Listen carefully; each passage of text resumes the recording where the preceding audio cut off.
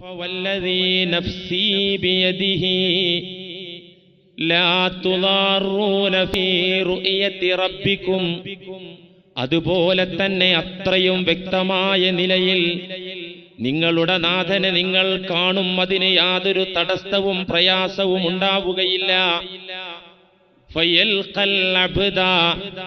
അള്ളാഹു വരും എന്നു മാത്രമല്ല ഓരോ അടിമകളെയും കണ്ടുമുട്ടിയിട്ട് ഫയഖൂലു ലഹു ഓരോരുത്തരോടും അവൻ ചോദിക്കും അലാ ഉഖിരിംക وأسودك وأزوجك وأسخر لك الخيل والإبلا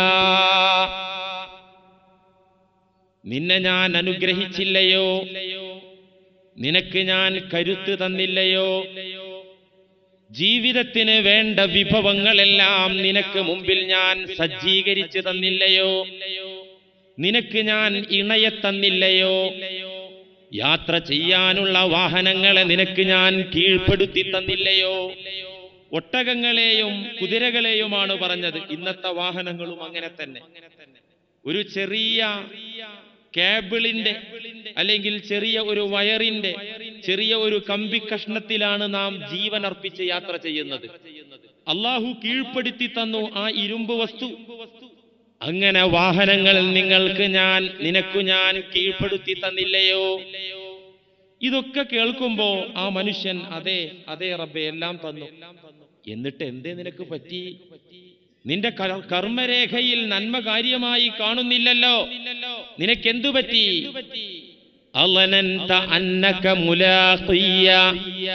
ഇതുപോലെ എന്നെ കണ്ടുമുട്ടുമെന്ന വിശ്വാസം നിനക്കില്ലായിരുന്നോ? അലനന്ത എന്നെ കണ്ടുമുട്ടേണ്ടി വരും അഭിമുഖീകരിക്കേണ്ടി വരും കണക്ക് ബോധിപ്പിക്കേണ്ടി വരുമെന്ന വിശ്വാസം നിനക്കില്ലായിരുന്നോ. തമ്പുരാനെ ആ ബോധ്യം എനിക്കുണ്ടായിരുന്നില്ല. നിന്റെ വചനങ്ങളും നിന്റെ പ്രവാചകന്റെ തിരുമൊഴികളും പ്രബോധകൻ പ്രബോധകന്മാർ വന്ന് പറഞ്ഞു തന്നപ്പോ അതൊന്നും അത്ര കാര്യഗൗരവത്തോടുകൂടെ ഉൾക്കൊള്ളുകയോ മനസ്സിലാക്കുകയോ ചെയ്തില്ല തമ്പുരാനെ. ഈ ദിവസം ഇങ്ങനെ പച്ചയായി ഞാൻ കാണുന്നത് പോലെ നിന്റെ മുന്നിൽ ഞാൻ നിൽക്കുന്നത് പോലെ ഈ അവസ്ഥ ഇങ്ങനെ വരുമെന്ന ബോധം എനിക്കുണ്ടായിരുന്നില്ല റബ്ബേ. അതുകൊണ്ടാണ് ഈ അവസ്ഥ എനിക്കുണ്ടായത്.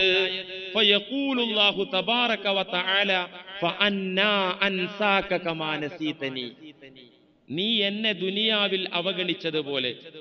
എന്റെ വചനങ്ങൾ കേട്ടപ്പോൾ അതിന് വേണ്ട വില കൊടുക്കാതെ എന്നെ നീ ദുനിയാവിൽ അവഗണിച്ചു സൃഷ്ടാവായ എന്നെ നീ ദുനിയാവിൽ മറന്നു ജീവിച്ചു അതിനു പകരമായി അൻസാക്ക കമാനസീതനീ കമാ നസീതനീ. ഇമാം മുസ്ലിം സഹീഹിൽ ഉദ്ധരിച്ച ഹദീസാണ്. നീ എന്നെ അവിടെ മറന്നതുപോലെ ഞാൻ ഇന്ന് നിന്നെ ഇവിടെ മറക്കുകയാണ്. എന്റെ ഔദാര്യങ്ങളോ എന്റെ ഭാഗത്ത് നിന്നുള്ള അനുഗ്രഹങ്ങളോ ഒന്നും നിനക്ക് തരൂല. നിന്നെ ഞാൻ വിസ്മരിക്കുകയാണെന്ന് അള്ളാഹു ഈ മനുഷ്യനോട് പറയുകയും ജഹന്നമിന്റെ പാറാവുകാരായ അള്ളാഹുവിന്റെ ഭടന്മാർ ഇവനെ കൈക്ക് കൂച്ചുവിലങ്ങിട്ട് നരകത്തിലേക്ക് തെളിച്ചു കൊണ്ടുപോവുകയും ചെയ്യും. അള്ളാഹു കാത്തിരക്ഷിക്കുമാറാകട്ടെ. പ്രിയമുള്ളവരെ ചോദ്യങ്ങൾ തുടങ്ങുകയാണ്. എന്തൊക്കെ ചോദ്യങ്ങൾ? നാം വളരെ നിസാരമായി ഗണിക്കുന്ന വളരെ ലഘുവായി ധരിച്ചു വച്ചിരിക്കുന്ന പലതും ചോദ്യത്തിന്റെ കൂട്ടത്തിൽ വരും. കാല റസൂലുള്ളാഹി സ്വല്ലല്ലാഹു അലൈഹി വസല്ലം മുത്തുനബി വിചാരണയുടെ ഗൗരവം പഠിപ്പിച്ചു തരുന്നു. വല്ലദീ നഫ്സീ ബിയദിഹി എന്റെ ആത്മാവ് ആരുടെ നിയന്ത്രണത്തിലാണോ അതേ ആ അള്ളാഹുവിനെ തന്നെയാണ് സത്യം. യൗമൽ മഷറയിൽ അള്ളാഹുവിന്റെ കോടതിക്ക് മുമ്പാകെ മാനവർ ചെന്ന് നിൽക്കുമ്പോ വിചാരണ നടക്കുമ്പോൾ അള്ളാഹുവിൽ നിന്നുണ്ടാകുന്ന ചോദ്യങ്ങളുടെ കൂട്ടത്തിൽ അള്ളാഹു ചെയ്തു തന്ന അനുഗ്രഹങ്ങളെ കുറിച്ച് അള്ളാഹു ചോദിക്കുമ്പോ ആ നിയമത്തുകളെ കുറിച്ചുള്ള ചോദ്യത്തിന്റെ കൂട്ടത്തിലുണ്ടാകും. എന്തൊക്കെയാണ് ഉണ്ടാകുന്നത്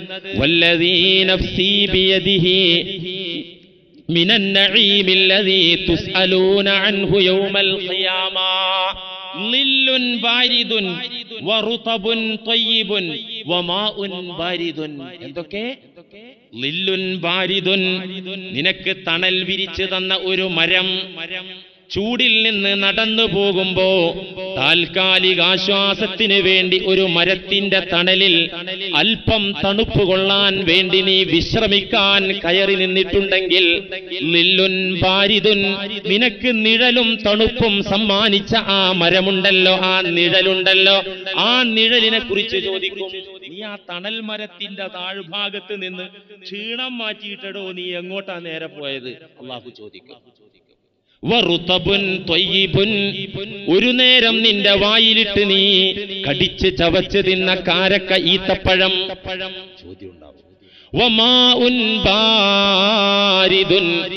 ദാഹമുണ്ടായ സമയത്ത് നിന്റെ ദാഹത്തിന്റെ ശമനത്തിനായി നീ കുടിച്ച തണുത്ത വെള്ളം എത്ര തവണ നീ ജീവിതത്തിൽ തണുത്ത വെള്ളം കുടിച്ചിട്ടുണ്ട് എങ്കിൽ ആ കുടിവെള്ളത്തിന്റെ കാര്യമെല്ലാം അള്ളാഹുവിന്റെ കോടതിയിൽ ചോദ്യമായി നിന്റെ മുമ്പാകെ വരും. ആദ്യമായിട്ട് നിയമത്തിന്റെ കൂട്ടത്തിൽ അള്ളാഹു അനുഗ്രഹങ്ങൾ ചോദിച്ചു തുടങ്ങുമ്പോ ആദ്യം ചോദിക്കുന്നത് എന്താ?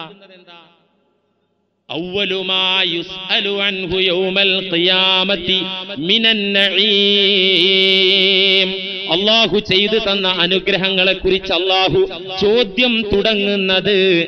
അലം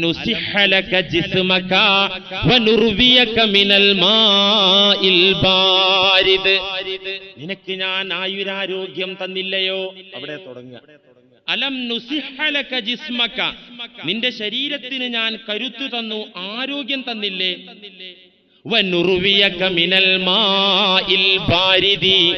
ആവശ്യമുള്ള സമയത്തൊക്കെ ദാഹത്തിന്റെ ശമനത്തിന് നിനക്ക് ഞാൻ തണുത്ത ശുദ്ധജലം തന്നില്ലേ?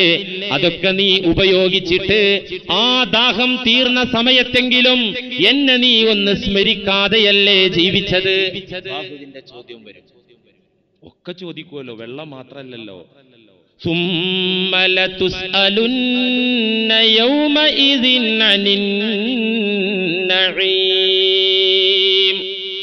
ശേഷം നിങ്ങൾ ചോദിക്കപ്പെടുക തന്നെ ചെയ്യും. യൗമ ഇതിൻ റബ്ബിന്റെ കോടതിക്ക് മുന്നിൽ നിൽക്കുന്ന ദിവസം അനിന്ന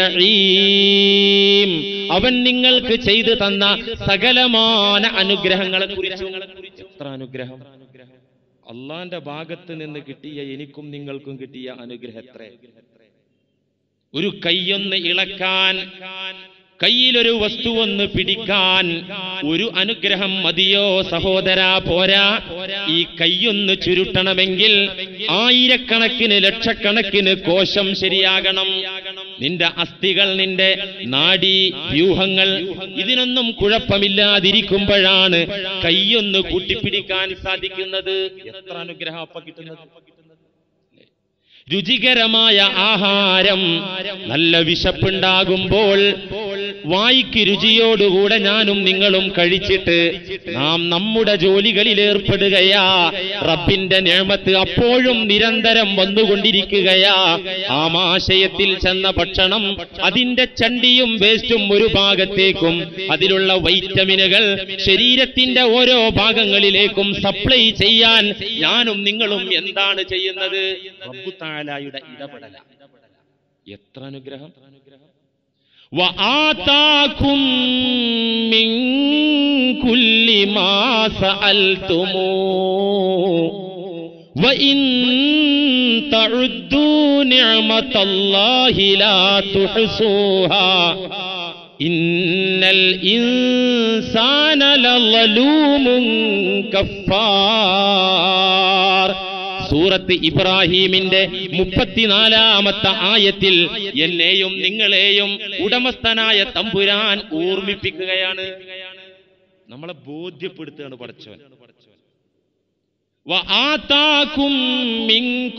മാ നിങ്ങൾ എന്നോട് ആവശ്യപ്പെട്ടതൊക്കെ ഞാൻ നിങ്ങൾക്ക് തന്നിട്ടുണ്ടല്ലോ. ചോദിച്ചതൊക്കെ തന്നിട്ടുണ്ടോ? എത്ര ദ്വായിരുന്നു ആവശ്യമുള്ളതേ പടച്ചോൻ തരുള്ളൂ. റാസിഖായ ആദിലായ റബ്ബുല്ലാലമീനായ പടച്ചോൻ നമ്മൾ ഈ വാശി പിടിക്കുന്നൊക്കെ തരൂല. പനി പിടിച്ച വയറിളക്കം പിടിച്ച കൊച്ചുകുട്ടി ബിരിയാണിക്ക് കരഞ്ഞാൽ സ്നേഹനിധിയായ ഉമ്മ ആ കുട്ടിക്ക് കൊടുക്കൂല കൊടുക്കാൻ പാടില്ല. ഇതുപോലെ നമ്മൾ അനവസരത്തിൽ അനാവശ്യ കാര്യങ്ങൾ ചോദിച്ചാൽ അല്ല തരൂല. ആവശ്യമുള്ളതോ? മാ സഅൽതുമൂ നിങ്ങൾ എന്നോട് ചോദിച്ച കാര്യങ്ങളൊക്കെ ഞാൻ നിങ്ങൾക്ക് തന്നല്ലോ. അത് നാവ് കൊണ്ടുള്ള ചോദ്യമല്ല. വിശപ്പുണ്ടാകുമ്പോ നാവില്ലാത്തൊരു ചോദ്യം അന്നം വരട്ടെ. ദാഹം ഉണ്ടാവുമ്പോ നാവ് കൂടാത്ത ഒരു ചോദ്യം വെള്ളം കിട്ടട്ടെ. പണത്തിന് ബുദ്ധിമുട്ടുണ്ടാകുമ്പോ പടച്ചോനെ സാമ്പത്തികമായി കുറച്ചു വേണം. കാരണം അത്യാവശ്യമുണ്ട്. അല്ലേ? നമ്മുടെ പ്രകൃതി ചോദിക്കുകയാണ് എന്റെയും നിങ്ങളുടെയും പ്രകൃതി ആവശ്യപ്പെടുന്നത് ജീവിതത്തിന് ആവശ്യമായ ഘടകങ്ങൾ പ്രകൃതി ചോദിക്കുമ്പോ ഒക്കെ അള്ളാഹു തന്നുകൊണ്ടിരിക്കുക നമ്മൾ ഉറങ്ങുമ്പോ തരുന്നു ഉണർവിൽ തരുന്നു നടക്കുമ്പോ തരുന്നു ഇരിക്കുമ്പോ തരുന്നു കിടക്കുമ്പോ തരുന്നു ഏതേത് സമയത്തും ഞാൻ തരില്ലായിരുന്നു മോനെ وآتاكم من كل ما سألتموه നിങ്ങൾ എന്നോട് ചോദിച്ചത് നിങ്ങളുടെ പ്രകൃതി ആവശ്യപ്പെട്ടത് എല്ലാം ഞാൻ നിങ്ങൾക്ക് തന്നിരുന്നല്ലോ. അതെത്രയാ എത്രയാണ് തന്നത്?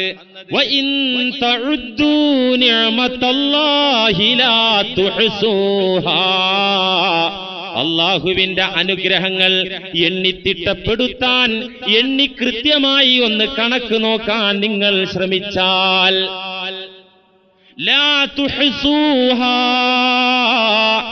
എണ്ണാൻ പോലും നിങ്ങൾക്ക് സാധ്യമേ അല്ല. കോടിക്കണക്കിന് രൂപ എണ്ണാൻ പറ്റുമല്ലോ. അല്ലേ? അള്ളാന്റെ അനുഗ്രഹങ്ങൾ നിങ്ങൾ എണ്ണാൻ നോക്കിയാൽ. എണ്ണി തിട്ടപ്പെടുത്താൻ പോലും നിങ്ങൾക്ക് പറ്റി പറ്റില്ലല്ലോ അത്രയും അനുഗ്രഹങ്ങൾ നിങ്ങൾക്ക് തന്നിട്ട് ഇന്നൽ ഇൻസാന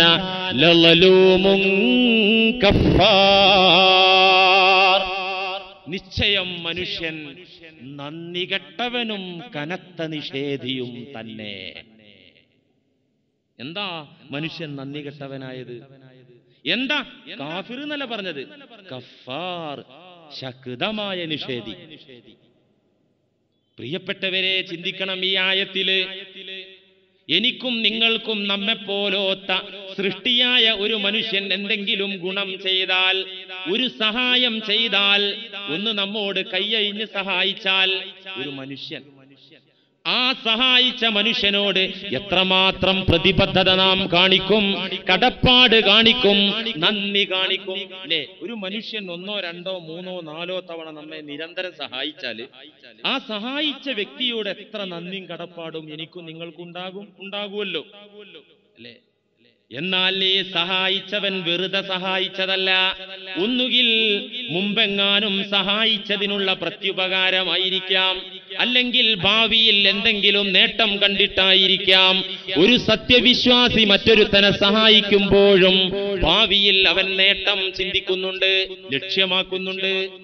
എന്നാൽ അള്ളാഹു റബ്ബുൽ സ്വമതീയത്തിന്റെ ഉടമയായ റബ്ബുല്ലാലമീൻ യാതൊരു പകരവും ആഗ്രഹിക്കാതെ യാതൊന്നും പ്രതീക്ഷിക്കാതെ യാതൊന്നും പകരം നന്ദിയോ കടപ്പാടോ ബാധ്യതയോ ആവശ്യമില്ലാത്ത വിധത്തിൽ ഈ എണ്ണമറ്റ അനുഗ്രഹങ്ങളൊക്കെ തന്നിട്ട് ആ റബ്ബിനെ ഒരു ദിവസത്തിലെ മിനിറ്റുകൾ പോലും ഓർക്കാൻ നമുക്ക് സാധിക്കുന്നില്ല. അപ്പോ ഒരു പടപ്പിനോട് കാണിക്കുന്ന പ്രതിബദ്ധത പോലും പടച്ചവനോട് കാണിക്കുന്നില്ല.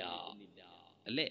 ഒരു പടപ്പിന് ഒരു മനുഷ്യന് കൊടുത്ത സ്ഥാനം പോലും റബ്ബുല്ലിസത്തിന് കൊടുക്കുന്നില്ല. ഇവൻ തന്നെയല്ലേ ലലൂമുൻ കഫാർ ഇവൻ തന്നെയല്ലേ കനത്ത തമ്മാടി കഫാറായ ആൾ നന്ദി കെട്ടവനായ മനുഷ്യൻ ഇവൻ തന്നെയല്ലേ? അള്ളാഹു അത്തരം വിഭാഗങ്ങളിൽ നിന്ന് നമുക്ക് കാത്തു കാത്തുരക്ഷിക്കട്ടെ. ദുആ മാത്രം പോരാ ഈ ബോധം നമുക്ക് വേണം സദാ വേണം. അതുകൊണ്ട് പ്രിയപ്പെട്ടവരെ ചോദ്യങ്ങൾ തുടങ്ങുകയാണ് പ്രധാനപ്പെട്ട ചോദ്യങ്ങൾ അഞ്ചാണ്. ആ അഞ്ച് ചോദ്യങ്ങളിൽ എല്ലാം ഉൾക്കൊണ്ടിരിക്കും. ചോദ്യങ്ങൾ. ഇമാം തുറുമുദി ഉദ്ധരിച്ച ഹദീസിൽ കാണാം قال رسول الله صلى الله عليه وسلم لا تزول قدم عبد يوم القيامة ഒരു മനുഷ്യന്റെയും കാലുകൾ മുന്നോട്ട് എടുത്തു വെക്കാൻ സാധിക്കുകയില്ല ഹത്താ യുസ്അല അൻ ഖംസിൻ. അഞ്ചു കാര്യങ്ങളെ കുറിച്ച് ചോദിക്കപ്പെടാത്ത നിലയിൽ ഈ ചോദ്യം വരാതെ ചോദ്യത്തെ അഭിമുഖീകരിക്കാതെ ഒരു പടപ്പിനും ഒരു മനുഷ്യനും അവന്റെ കാൽ മുന്നോട്ട് എടുത്തു വെക്കാൻ പറ്റൂല ദൈവീക കോടതിയുടെ പ്രതിക്കൂട്ടിൽ കയറി നിന്ന മനുഷ്യന് അവിടെ നിന്ന് കാലെടുത്തു വെക്കാൻ പറ്റൂല. അഞ്ചു കാര്യങ്ങളെ കുറിച്ച് ചോദിക്കപ്പെടാതെ ഏതൊക്കെയാണത് അൻ ഫീമാ അഫ്നാഹു. അള്ളാഹു ചോദിക്കും മോനെ നിനക്ക് ഞാൻ ഇത്ര കാലം ആയുസ് തന്നില്ലേ? ഏത് കാര്യങ്ങളിലാണ് നീ ആ ആയുസ് നശിപ്പിച്ച് കളഞ്ഞത് തകർത്ത് കളഞ്ഞത്. ആയുസിനെ കുറിച്ചാണ് ഒന്നാമത്തെ ചോദ്യം. ഫീമ അഫുനാഹു എവിടെയാണ് ഈ ആയുസ് നശിപ്പിച്ചത് വഅൻ ശബാബിഹി ഫീമാ അബ്ലാഹു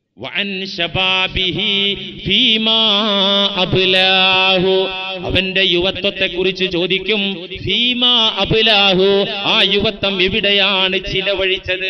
അപ്പൊ ആയുസും കരുത്തുമായി എത്രയായി? ഒരുപാട് കാര്യങ്ങളായി അതിൽ തന്നെ വിട്ടു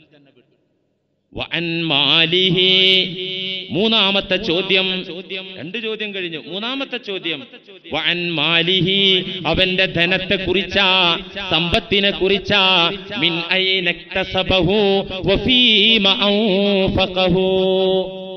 സാമ്പത്തിക മേഖലയിൽ രണ്ട് ചോദ്യ.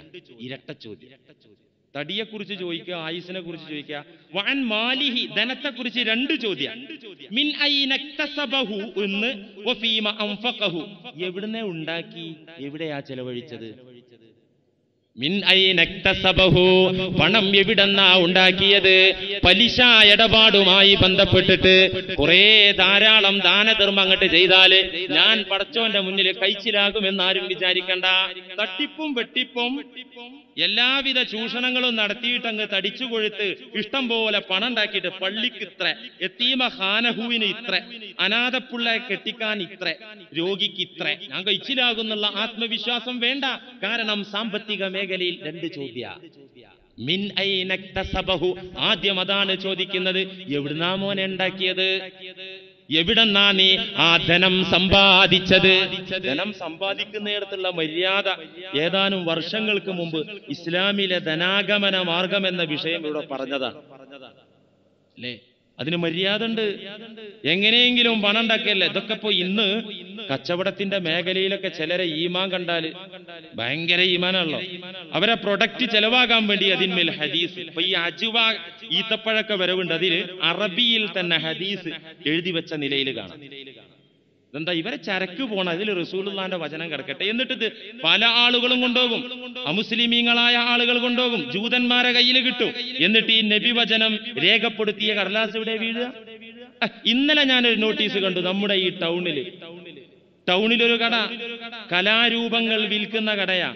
മോഹിനിയാട്ടത്തിന്റെ ഭരതനാട്യത്തിന്റെ ഡാൻസിന്റെ വസ്ത്രവേഷവിധാനങ്ങൾ വാടകയ്ക്ക് കൊടുക്കുന്ന വിൽപ്പന നടത്തുന്ന ഒരു കട. പേരെന്താണെന്നറിയോ ആ കടയുടെ പേര്? റഹ്മാൻ. എന്ത്? റഹ്മാൻ ഷോപ്പ്. മഅദല്ലാ. ഞാനിത് വിമർശിക്കാൻ വേണ്ടി പറയല്ല. കുറ്റം പറയല്ല ഇവിടെ ഇപ്പൊ നമ്മുടെ കമ്മ്യൂണിറ്റി അല്ലേ ഉള്ളൂ. അതുകൊണ്ട് ആ സഹോദരൻ എന്റെ പച്ചക്ക് പറഞ്ഞ മുസ്ലിയർക്ക് ഫോൺ ചെയ്ത് പറഞ്ഞുകൂടെയിരുന്നോ?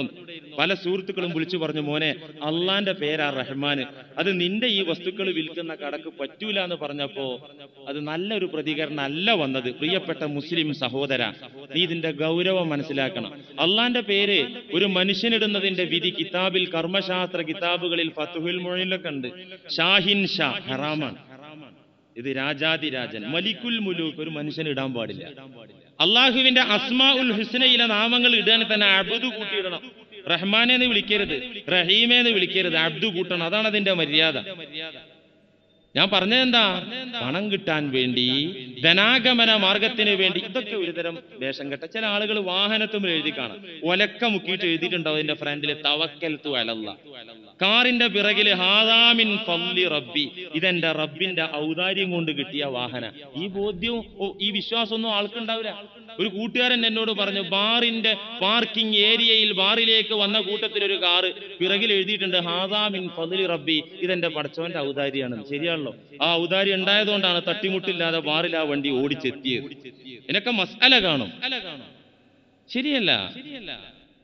മിൻ ഐനക്തസബഹു എങ്ങനെയാണ് നീ ഈ ധനം സമാഹരിച്ചത് ധനാഗമന മാർഗം ഞാൻ അനുവദിച്ച ഒരു നിയമാവലി പറഞ്ഞു തന്നിരുന്നു ആ നിലയിൽ തന്നെയാണോ നീ സമ്പത്തുണ്ടാക്കിയത് വഫീമ ഔഫഖഹു നീ എവിടെയാണ് ചിലവഴിച്ചത് وعن علمه فيما فعل فيه അവനുള്ള അറിവിനെ കുറിച്ചാണ് അഞ്ചാമത്തെ ചോദ്യം.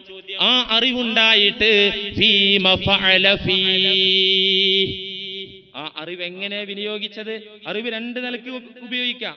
ഖുർആൻ വചനാണെങ്കിലും ശരി കർമ്മശാസ്ത്ര അവഗാഹമാണെങ്കിലും ശരി ദീനിന് ഉപയോഗിക്കുക ദുന്യാവിന് ഉപയോഗിക്കാം. ഫീമ ഫഅല ഫീ. നിന്റെ അറിവ് നീ എങ്ങനെയാണ് ഉപയോഗപ്പെടുത്തിയത്? അള്ളാഹുവിന്റെ ഭാഗത്തിൽ നിന്ന ചോദ്യം.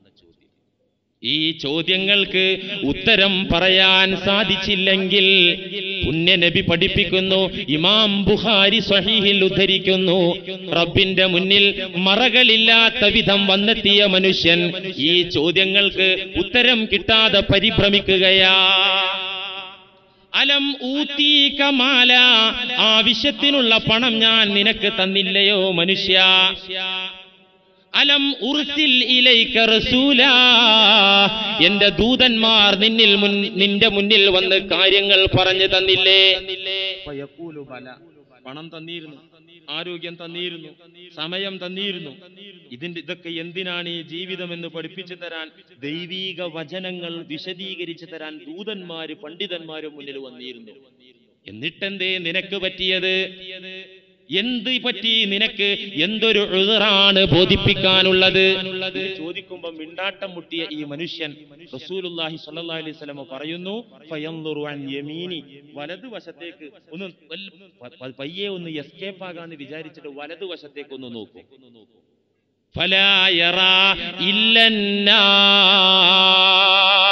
എഴുപതിനായിരം മലക്കുകൾ ജഹന്നമിനെ വലിച്ചു കൊണ്ടുവന്നിട്ടത് അവന്റെ വലഭാഗത്ത് നരകം അതാ കത്തി ആളുന്നു. സുമ്മ എന്നുറു അൻഷിമാലിഹി. ഉടനെ ഇടത്തേക്ക് നോക്കും. ഇവിടെ നരകമുള്ള ഇടത് ഭാഗത്തേക്ക് നോക്കുമ്പോ ഇടതുവശത്തും കത്തിയാളുന്ന നരകമാണ് ആ മനുഷ്യൻ കാണുന്നത്. ഇത്ര പറഞ്ഞിട്ട് ഹബീബ് പറയാൻ അതുകൊണ്ട്.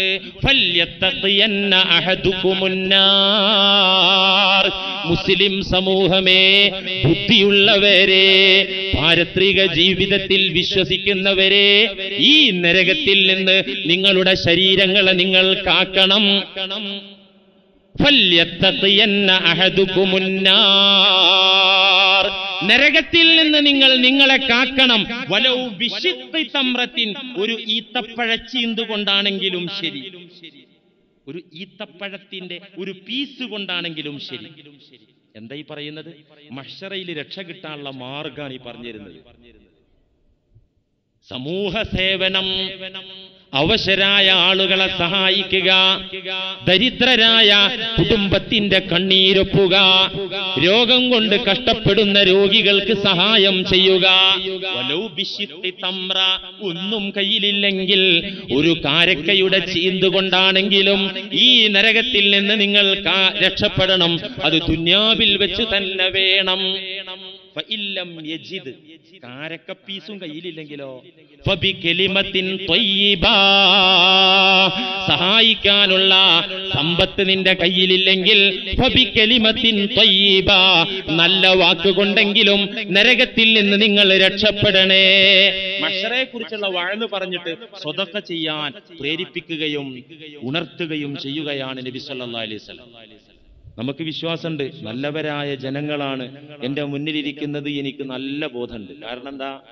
മഷറയിൽ രക്ഷപ്പെടുന്നത് പാവങ്ങളെ സഹായിക്കുന്നവരാണെന്ന് പറഞ്ഞ ആ ആഴ്ച നേര്യമംഗലത്തുകാരനായ ഒരു സഹോദരൻ യൂസുഫ് എന്ന പേരുള്ള സഹോദരൻ ബ്രെയിൻ ട്യൂമർ ബാധിച്ച് ഭാര്യയും അപകടത്തിൽപ്പെട്ട സംഭവം പറഞ്ഞപ്പോ ഈ പള്ളിയിൽ വന്ന പ്രിയപ്പെട്ട സഹോദരന്മാർ സഹായിച്ചു. അരലക്ഷം രൂപയോളം. തലേ വെള്ളിയാഴ്ച പറഞ്ഞിട്ടല്ലല്ലോ. നിങ്ങൾ ആരും കച്ചവടത്തിന് വന്നതുമല്ല. പള്ളിയിൽ വന്ന നിങ്ങൾ ലക്ഷത്തോളം രൂപ സഹായിച്ചു. അത് അള്ളാഹു സുബാനഹുവത്താല നമ്മെ രക്ഷപ്പെടുത്താൻ മതിയായ കാരണമാണ് നമ്മുടെ നീയത്ത് നല്ലതാണെങ്കിൽ. അതാണ് ഹബീബ് പറയുന്നത്. ഇനിയും അങ്ങനത്തെ ചാൻസ് വരും. ഇന്ന് ഇപ്പോ ഈ കഴിഞ്ഞ ആഴ്ച വന്ന് പറഞ്ഞിട്ട് നീട്ടിവെച്ചതാ ഈ ആഴ്ചത്തേക്ക്. അബ്ദുൽ നാസർ എന്ന പേരുള്ള ഒരു സഹോദരൻ നമ്മുടെ മൂക്കിനു താഴെയുള്ള ഈ പള്ളിക്കവല പ്രദേശത്ത് ഈ പാലത്തിന്റെ അവിടെ ഒരു ബസ് ആക്സിഡന്റ് ആയിട്ട് അതീവ ഗുരുതരാവസ്ഥയിൽ ആ മനുഷ്യൻ എറണാകുളത്ത് ആശുപത്രിയില്ല ബോധം നഷ്ടപ്പെട്ട് ശരീരത്തിന്റെ ചലനശേഷിയെല്ലാം നശിച്ച് പിഞ്ചു രണ്ടു പൈതങ്ങളാണ് കൊച്ചുകുട്ടികൾ. സഹായം അഭ്യർത്ഥിച്ചു വന്നിട്ടുണ്ട്. ഇന്ന് പോകുമ്പോ അള്ളാന്റെ റസൂൽ സൊല്ലാഹു അലൈഹി വസലമ പറഞ്ഞത് ഇമാം ബുഹാരി ഉദ്ധരിച്ച ഹദീസ് ഈ വിചാരണയുടെ രംഗം പറഞ്ഞു തന്നിട്ട് എന്താ പറഞ്ഞത്. നിങ്ങളിൽ ഓരോരുത്തരും നിങ്ങൾ സൂക്ഷിക്കണം അന്നാറ നരകത്തെ. എങ്ങനെ? വലോ ബിഷിത്തി തമ്ര ഉള്ളത് കൊണ്ട് നിങ്ങൾക്ക് രക്ഷപ്പെടാനുള്ള മാർഗം അതാണ്. ആ യൂസുഫ് എന്ന പേരുള്ള സഹോദരൻ മരിച്ചുപോയി. നാൽപ്പതിനായിരം രൂപയ്ക്ക് മുകളിൽ നാം സമാഹരിച്ച് ആ സഹായധനം കൊണ്ടുപോയി കൊടുക്കാൻ നമ്മൾ കുറച്ച് ദിവസങ്ങൾ കാത്തുനിന്നു കാരണം ട്രീറ്റ്മെന്റിനനുസരിച്ച് കൊടുക്കാമെന്നും കരുതി പെട്ടെന്നാണ് വിവരം കിട്ടിയത് യൂസഫ് എന്ന സഹോദരൻ മരിച്ചുപോയി. ആ യൂസഫ് എന്ന സഹോദരത്തി സഹോദരന്റെ അനാഥ മക്കളുടെ ജീവിത ജീവിതാവശ്യത്തിന് നമ്മൾ കൊടുത്ത സംഭാവന ഇനി കിട്ടാൻ പോവാണ്. ഇതാണ്.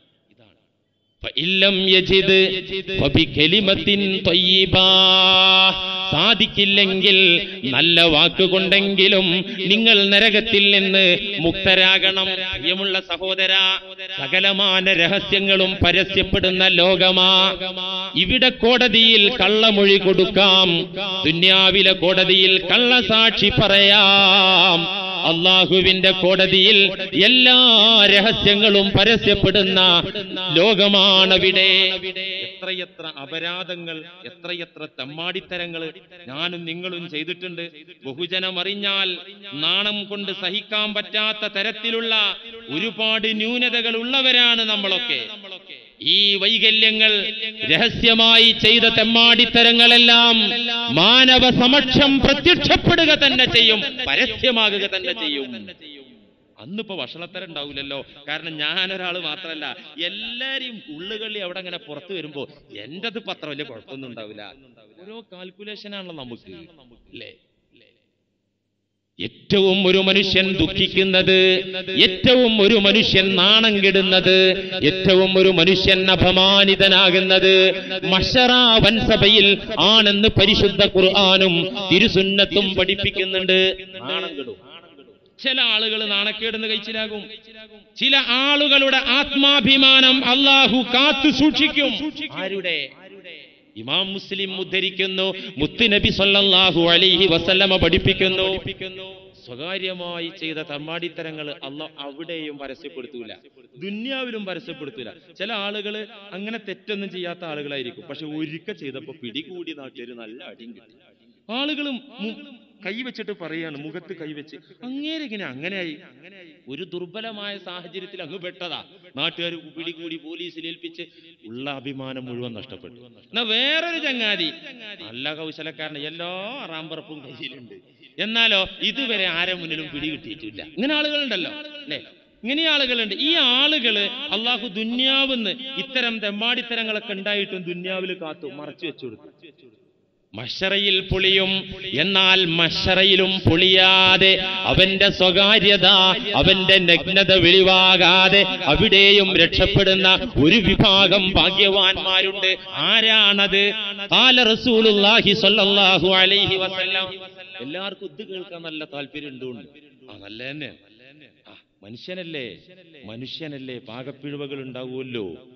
അലാ ഇന്നല്ലാഹ തആല വഅദൽ മുഅ്മിന.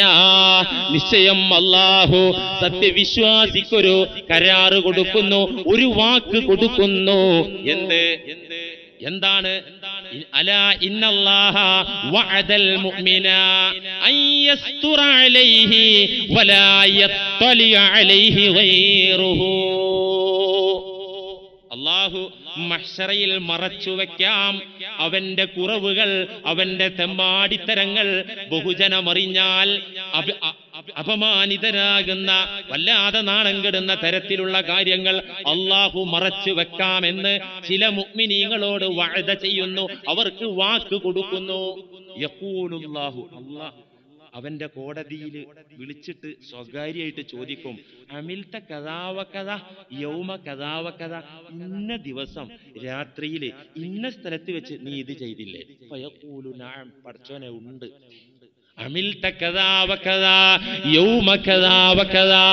ഇന്ന ഒരു ദിവസം മറ്റൊരു ദിവസം അവിടെ വെച്ച് നീ സ്വകാര്യമായി നിന്റെ വീട്ടിലറിഞ്ഞാൽ കെട്ടിയോൾ തെറ്റിപ്പോകും. മക്കൾ നിന്നെ വിറക് കൊള്ളി എടുത്തിട്ട് അടിക്കും. അത്തരത്തിലുള്ള തെമ്മാടിത്തരങ്ങൾ നീ ചെയ്തില്ലേ? ഇന്ന ദിവസം. പഠിച്ചോനെ.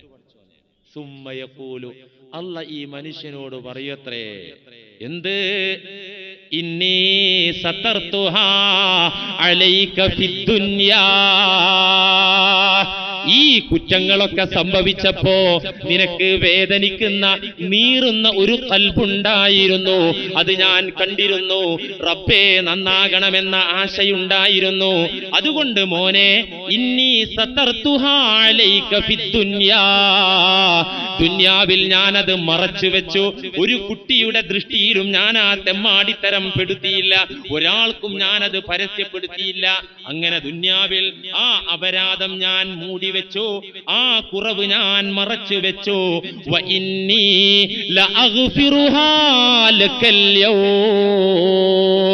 ഇന്ന് മോനെ ഞാൻ നിനക്കത് പുറത്തു തരികയും ചെയ്തിരിക്കുന്നു. മഷറയിൽ നീ ആ കർമ്മരേഖയിൽ ആ തെമ്മാടിത്തരം നീ വിളിച്ചു പറയേണ്ടതില്ല. അങ്ങനെ ചില ഭാഗ്യം ചിലർക്ക് കിട്ടും. ആർക്കാ കിട്ടുക? അതിനുള്ള യോഗ്യതയും മുത്ത് റസൂൽ പറഞ്ഞു തന്നു. എല്ലാ മുഅ്മിനീങ്ങൾക്കും ഇല്ല എന്ന് പറഞ്ഞല്ലോ. എല്ലാ മുഅ്മിനീങ്ങൾക്കും ഇതില്ല എന്ന് പറഞ്ഞല്ലോ. ഏത് മുഗ്മിനാ ഉള്ളത്? മൻ സതറ അലാ മുഅ്മിനിൻ ഔറതഹു സതറല്ലാഹു ഔറതഹു യൗമൽ ഖിയാമ. റസൂലുള്ളാഹി. എന്താ പറഞ്ഞത്? നമ്മുടെ അപരാധങ്ങൾ കൊള്ളരുതായ്മകൾ അള്ളാഹു ദുന്യാവിലും മറച്ചു വെച്ചിട്ട് മഷറയിലും പുറത്തു തരാനുള്ള വഴി എന്താ?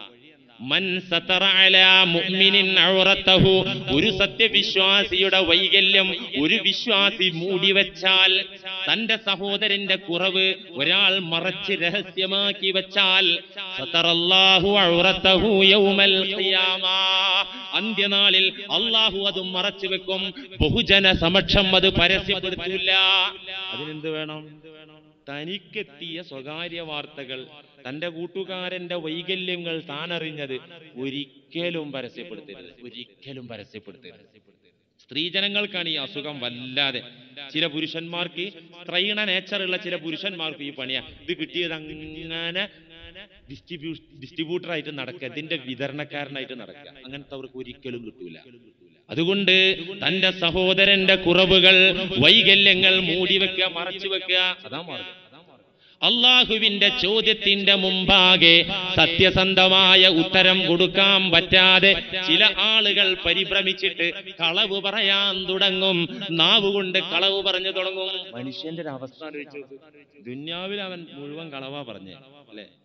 അല്ലേ? ആളുകളോട് പല കാര്യലാഭത്തിന് വേണ്ടി കളവ് പറയും. അള്ളാഹിന്റെ കോടതിയിലെത്തുമ്പോ അള്ളാഹു സുബാനഹുവത്താലായുടെ മുന്നിലെത്തുമ്പോഴും ഈ മനുഷ്യൻ ലലൂമുൻ കഫാറായ മുഷിരിക്കായ മനുഷ്യൻ അവിടെയും നാവ് പൊക്കുകയാ നാവ് ഇളക്കുകയാ. എന്തിന് കളവ് പറയാൻ? അള്ളാന്റെ മുന്നിൽ കളവ് പറയാൻ.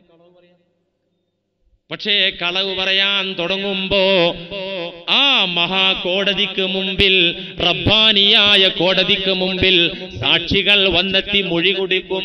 സാക്ഷികൾ വന്നെത്തിയിട്ട് മൊഴി കൊടുക്കും. ഇവിടുത്തെ സാക്ഷി കൂറുമാറും. പ്രമാദമായ എത്ര കേസ് നമ്മുടെ ഇന്ത്യ രാജ്യത്ത് ഞാനും നിങ്ങളും കേട്ടു. അല്ലെ? അതിക്രൂരമായി നട്ടുച്ച സമയത്ത് ഒരു ബാലികയെ ബലാത്സംഗം ചെയ്ത് വെട്ടിക്കൊന്നു. കൊന്നവൻ ലക്ഷങ്ങളാണ് കൊടുത്തു. കണ്ട സാക്ഷി കൂറുമാറി. എത്രയേ വെസ്റ്റ് ബേക്കറി കേസ്? നല്ല സാഹിറ ഷെയ്ഖ് എന്നൊക്കെ ഉണ്ടാകും. എന്നാലും പണം കിട്ടിക്കഴിഞ്ഞാൽ മാറുക അല്ലേ? ഒരുപാട് കേസുകൾ ഈ ആരാണ് ഈ സാക്ഷി മൊഴി? എവിടെന്നാണ് സാക്ഷികൾ മൊഴി കൊടുക്കാൻ വരുന്നത്? പുറത്തു നിന്നുള്ള ആളുകളല്ല. ഒന്ന് ഈ ഭൂമി തന്നെയാണ് സാക്ഷി പറയുന്നത്. മറ്റേത് ഇവന്റെ അവയവങ്ങളാണ്. ഈ ശരീരത്തിലുള്ള അവയവങ്ങളാ. ഈ രണ്ട് സാക്ഷികളാ വരിക. يومئذ تحدث أخبارها بأن ربك أوحى لها ആ മഹാകോടതിക്ക് മുന്നിൽ ആ ദിവസത്തിൽ ഭൂമി അതിന്റെ വാർത്തകൾ പറഞ്ഞുകൊണ്ടിരിക്കും ഭൂമി അതിന്റെ ചരിത്രങ്ങൾ പറഞ്ഞുകൊണ്ടിരിക്കും ബി അന്ന റബ്ബക ഔഹാ ലഹാ. അങ്ങയുടെ നാഥൻ ആ ഭൂമിക്ക് വഹി കൊടുത്തു സന്ദേശം കൊടുത്തു അതിന്റെ അടിസ്ഥാനത്തിൽ ഭൂമി സംസാരിക്കും. സ്വല്ലല്ലാഹു അലൈഹി വസല്ലമ ഹാദിഹിൽ ആയത്ത. ഇമാം അഹമ്മദ് ഉദ്ധരിക്കുന്ന ഹദീസിൽ കാണാം മുത്തു റസൂൽ ഈ ആയത്ത് ഓതി. ഓതിയിട്ട് ചോദിച്ചു സഹാബത്തിനോട് ഭൂമിയുടെ വർത്തമാനം എന്താണെന്ന് നിങ്ങൾക്കറിയോ? ഭൂമി അതിന്റെ കഥകൾ പറയുമെന്നാണ് ഖുർആൻ പറയുന്നത്. എന്താണ് ഈ കഥ എന്ന് നിങ്ങൾക്കറിയോ? പാലു അല്ലാഹു അലം ഞങ്ങൾക്കറിയൂലല്ലോ ഹബീബേ. ഫഖാല അവിടുന്ന് പറഞ്ഞു കൊടുത്തു എന്താണ് ആ ദിവസം ഭൂമി പറയുന്ന കഥ.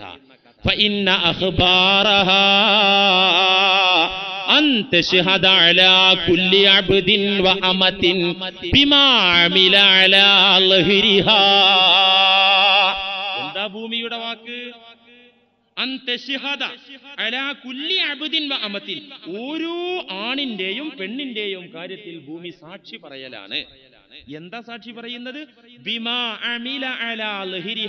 ഭൂമിയുടെ പുറം ഭാഗത്ത് വെച്ച് ചെയ്ത കർമ്മങ്ങളെ കുറിച്ച് ഭൂമി അന്ന് സാക്ഷി പറയലാണ്. ഭൂമി പറയും അമിൽ നീ എന്റെ പുറത്ത് നിന്നല്ലടോ ഇത് ചെയ്തത്? അല്ലേ? നീ എന്റെ പുറത്തേറിക്കൊണ്ടല്ലേ ചെയ്തത്? ഭൂമി അങ്ങനെ സാക്ഷി പറഞ്ഞുകൊണ്ടിരിക്കും? ഭൂമി എങ്ങനെ സാക്ഷി പറയാ? ഭൂമി എങ്ങനെ സംസാരിക്ക? എന്ന് പൂർവീക മനുഷ്യന്മാർ ഒരു പക്ഷേ ചിന്തിച്ചിട്ടുണ്ടാകും. അവർക്കത് തിരിയൂല്ല. തിരിയാനുള്ള സാഹചര്യം പൂർവീക മനുഷ്യന്മാർക്ക് ഉണ്ടായിരുന്നില്ല. എന്നാൽ ഇന്നോ ഇന്ന് ഭൂമി സംസാരിക്കുന്നു പറഞ്ഞാൽ മനസ്സിലാക്കാൻ ഒരു പ്രയാസമില്ല എന്തുകൊണ്ട് നമ്മുടെ സംസാരങ്ങൾ റെക്കോർഡ് ചെയ്യുന്ന സൗണ്ട് റെക്കോർഡറുകൾ നമ്മുടെ ചിത്രങ്ങൾ പിടിക്കുന്ന വീഡിയോ റെക്കോർഡറുകൾ അല്ലെ? അത് അത് പുറത്തേക്ക് വിടുന്ന പ്ലെയറുകൾ ടി വി കമ്പ്യൂട്ടർ പോലുള്ള അത്യാധുനിക ഇലക്ട്രോണിക് അതിനൂതന ഇലക്ട്രോണിക് സംവിധാനങ്ങൾ സർവസാധാരണമായ ഇക്കാലത്ത് നമുക്കത് മനസ്സിലാക്കാൻ ഭൂമിയുടെ സംസാരം ഗ്രഹിക്കാൻ ഒരു പ്രയാസമില്ല കാരണം ഈ ഭൂമിയിലുള്ള ഘടകങ്ങൾ എടുത്തിട്ടാണ് മനുഷ്യന്മാരായ നമ്മൾ ഇതൊക്കെ റെക്കോർഡ് ചെയ്യുന്നത്. ഏത് ഏത് റെക്കോർഡർ ആണെങ്കിലും മൂവി ക്യാമറ ആണെങ്കിലും ഈ ഭൂമിയിലുള്ള ഘടകങ്ങൾ എടുത്തിട്ട് ചില പദാർത്ഥങ്ങൾ മിക്സ് ചെയ്തിട്ട് ഒരു യന്ത്രാക്കിയതല്ലേ? ഇതൊക്കെ ഭൂമിയിലാണല്ലോ ഇതിന്റെ മൂലധാതുക്കൾ ഉള്ളത്. ഇപ്പൊ ദൈവഗണാണല്ലോ വലിയ ചർച്ച. വെറുതെ ബഡായി പൊട്ടിക്കുക എന്നല്ലാതെ ദൈവഗണൊന്നും കണ്ടെത്താൻ പോകുന്നില്ല. അല്ലേ പത്രക്കാരും പറഞ്ഞു ശാസ്ത്രം പറഞ്ഞു ദൈവവുമായി ഈ കണത്തിന് ബന്ധല്ലേ. എന്നാലും നമ്മുടെ ഒരു പുരോഗതിയാണ്. അല്ലേ അള്ളാഹു സുബാന ഹുവത്താല പടച്ചു വെച്ച ഈ സംവിധാനം ഇതൊക്കെ പഠിച്ചാൽ മരണാനന്തര ജീവിതത്തിൽ മഷറയുടെ കാര്യത്തിൽ നമുക്ക് പെട്ടെന്ന് മനസ്സിലാക്കാം. ഈ ശാസ്ത്രത്തിന്റെ പുരോഗതി അത് പഠിച്ച ഗ്രഹിച്ചൊരു മനുഷ്യന് പെട്ടെന്നുണ്ട് പാരത്രിക ജീവിതത്തെക്കുറിച്ച് അള്ളാന്റെ വിചാരണെ കുറിച്ച് മനസ്സിലാക്കാം. അല്ലേ? ഞാനും നിങ്ങളും ഉച്ചരിക്കുന്ന ഓരോ വാക്കുകളും അക്ഷരങ്ങളും ഈ കാണുന്ന ഭിത്തി റെക്കോർഡ് ചെയ്യുന്നുണ്ട്. ഉണ്ട്.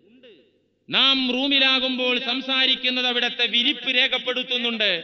വയലിലൂടെ വഴിയോരങ്ങളിലൂടെ മരുഭൂമികളിലൂടെ നടക്കുമ്പോ നാം സംസാരിക്കുന്നത് അവിടെ മരമില്ലെങ്കിലും ശരി അല്ലെങ്കിൽ മറ്റു വസ്തുക്കൾ ഒന്നുമില്ലെങ്കിലും ശരി. നാം സംസാരിക്കുന്ന ആ വോയിസ് അണുക്കളിൽ സ്ഥാപിതമാകുന്നു അണുക്കളിൽ സ്ഥാപിതമാകുന്നു. ആ അണുക്കളിൽ നിന്ന് പിടിക്കാൻ പറ്റും.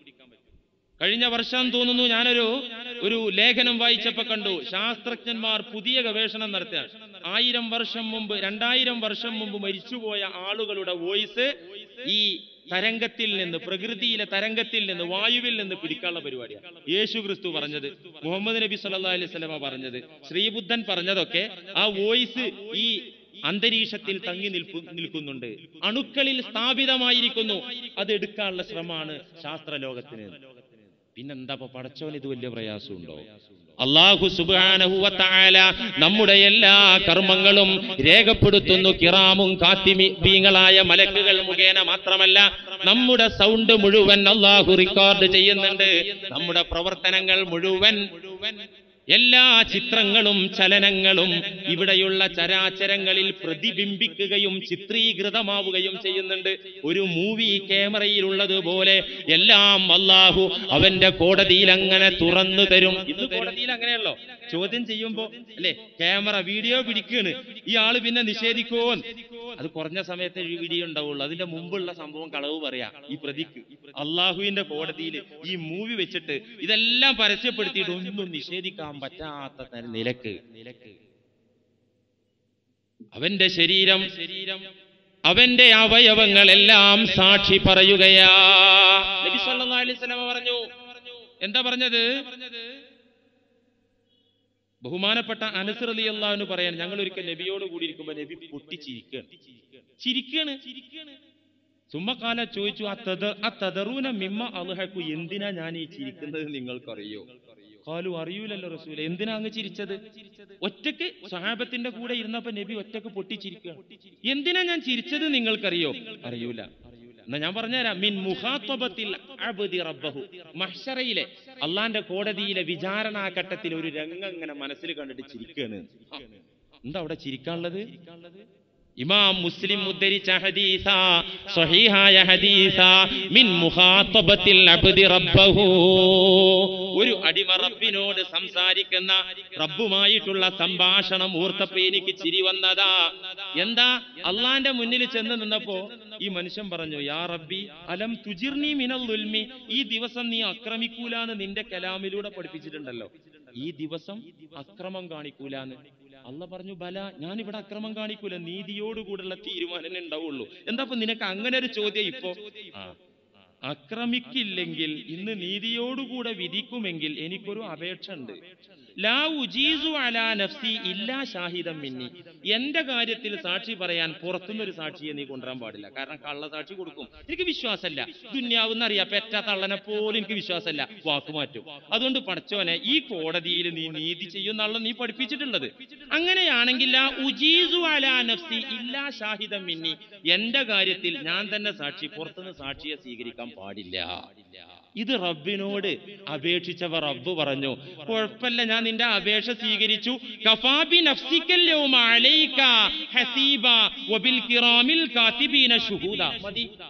നിന്റെ കാര്യത്തിൽ സാക്ഷി നീ മതി. പിന്നെ കിറാമും കാത്തിബീങ്ങളായ മലക്കുകൾ സന്തത സഹചാരികളായി നിന്റെ കൂടെ നടന്ന് എഴുതിയ മലക്കുകൾ ഉണ്ടാവും കൂടെ. അത് മതി പുറത്തുനിന്ന് ഒരു പടപ്പിനി ഞാൻ എടുക്കുന്നില്ല. ഇങ്ങനെ അങ്ങോട്ട് പറഞ്ഞിട്ട് ഈ മനുഷ്യന്റെ അപേക്ഷ അല്ല സ്വീകരിച്ചാൽ അവന്റെ കാര്യത്തിൽ അവൻ തന്നെ സാക്ഷി പറയാൻ പാടുള്ളൂ അവന്റെ വായയിൽ മലക്കുകൾ അതാ സീൽ വെച്ച് അടച്ചു പൂട്ടുകയാ എന്നിട്ട് അവിടെ പറയപ്പെടുകയാണ്. അവന്റെ ശരീരത്തിലുള്ള ഘടകങ്ങളോട് അവയവങ്ങളോട് പറയപ്പെടുകയാണ്. നിങ്ങൾ മിണ്ടി തുടങ്ങുക നിങ്ങൾ സംസാരിച്ചു തുടങ്ങുക. ഫതന്തിഖു ബി വായങ്ങട്ട് കൂട്ടിക്കെട്ടിയിട്ട് പറഞ്ഞു കയ്യിനോടും കാലിനോടും ശരീരത്തോടൊക്കെ അങ്ങോട്ട് പറഞ്ഞു സംസാരിച്ചു തുടങ്ങാം കയ്യ് പറഞ്ഞു കട്ടു കയ്യ് പറഞ്ഞു പലിശ കൊടുത്തു. അങ്ങനെ ഓരോ അവയവങ്ങളും കാലും ഒക്കെ അങ്ങോട്ട് പറഞ്ഞപ്പോ സുമ്മ യുഹല്ല ബൈനഹുവ ബൈനൽ കലാം. ഈ സാക്ഷി കയ്യും കാലും ശരീരവും സാക്ഷി പറയൽ കഴിഞ്ഞപ്പോ ഇവനൊന്ന് മോചിപ്പിച്ചു കൊടുത്തല്ല എങ്ങനെ ഉണ്ട് എന്നൊന്ന് പഠിപ്പിക്കാൻ വേണ്ടി. ഈ സാക്ഷി പറച്ചിൽ കഴിഞ്ഞപ്പോ സുമ്മ യുഹല്ല ബൈനഹുവ ബൈനൽ കലാം. മോചിപ്പിച്ചപ്പോ അവൻ എന്താ ചെയ്യുന്നറിയോ? എന്താ അവൻ ചെയ്തത്? അവൻ അവന്റെ അവയവങ്ങളെ നോക്കിയിട്ട് അവന്റെ ശരീരത്തെ നോക്കിയിട്ട് അവൻ പറഞ്ഞു